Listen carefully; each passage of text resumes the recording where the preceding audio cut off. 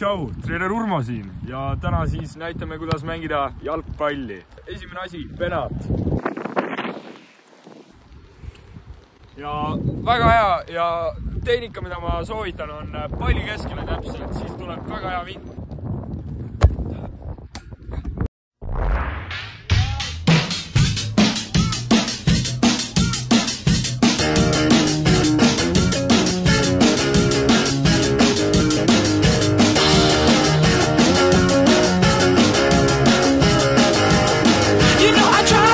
Tšau, Urmo ja nüüd näitame, kuidas palliga teha rainbow'd.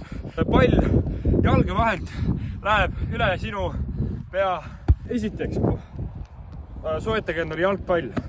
Neid saab kohalikust Maximast ja Konsumist. Äh, panete ühe jala siia.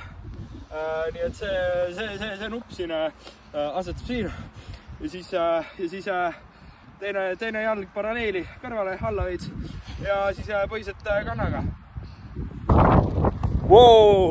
tervist, Urmo siin ja nüüd me näitame siis, kuidas kaitsta jalgpallis. väga lihtne, nüüd ta lööb ja ma kaitsen. pane kinni.